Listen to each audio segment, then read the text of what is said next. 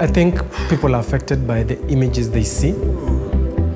Most of the time that you see images coming from Kenya specifically, and most of Africa, it will be war, disease, AIDS, famine, something like that. While that is true, there's still a lot more coming out of the continent that is uplifting, that is positive, that is encouraging. My mission is to change our own perceptions of what Africa is supposed to be.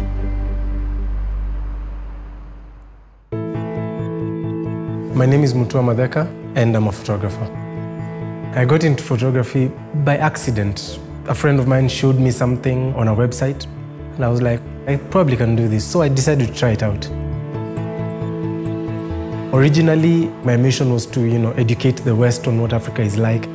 And I realized it doesn't matter what other people think if we still think of ourselves as backward or not worthy.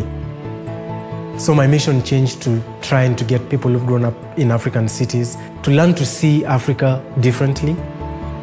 If I can keep shooting what I want people to see, then I believe over time this changes what people think of themselves.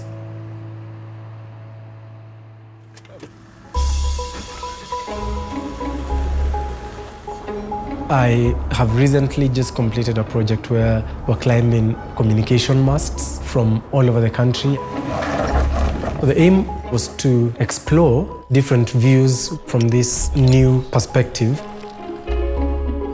I can almost guarantee that no photographer in Africa or in Kenya has photographed from the heights that I photographed from. So it was a unique opportunity and a very rare chance for me.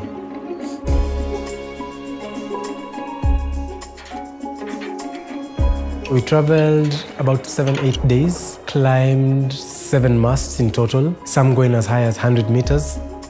It was hard climbing, but you get to the top and you see the view that awaits you, and it's like another world.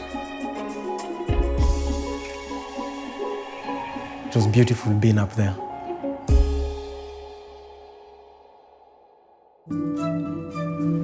Photography has a unique way of being able to change perceptions just by seeing something different over and over and over. All these things are connected to the value that you place on the place that you live in.